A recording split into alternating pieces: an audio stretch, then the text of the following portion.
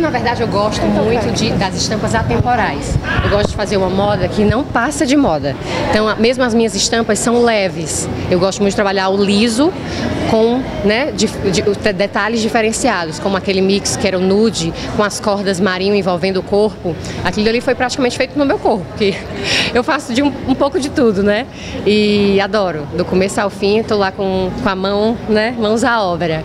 E a gente fez o crochê estilizado também de uma forma geométrica. Eu quis lembrar, remeter a forma e o desenho do crochê à trama de palha né? Fiz essa associação. Depois a gente finaliza e fecha o desfile com o macramê inteiro feito à mão, sem maquinário, ferramenta alguma que não seja a mão do artesão. Isso para mim realmente não tem preço, né?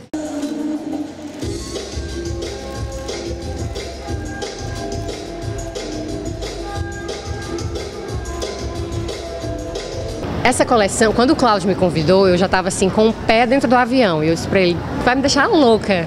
Ele disse, tem que ser você, eu quero você e tem que ser você. A única marca de moda praia esse ano é a sua.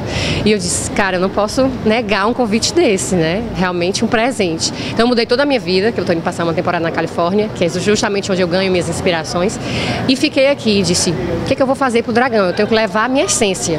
Eu não vou me, me respaldar num tema qualquer. Eu quero, eu vou mostrar da onde foi que eu vi, onde foi que eu me inspirei para criar a Bikini Society, que foi justamente através das minhas viagens no verão europeu, para paraísos para, né, paradisíacos e ilhas desertas. Eu tenho uma, eu sou casada com um surfista e sou garota de praia, então a gente, né, o nosso destino sempre acaba no mar.